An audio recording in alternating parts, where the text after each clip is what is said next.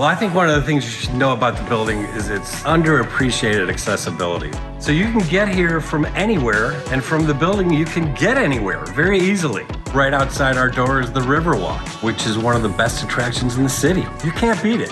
And here we are in Breathe Studio, our brand new, refurbished, and reestablished fitness center. Classes, yoga, personal training, heart rate monitoring.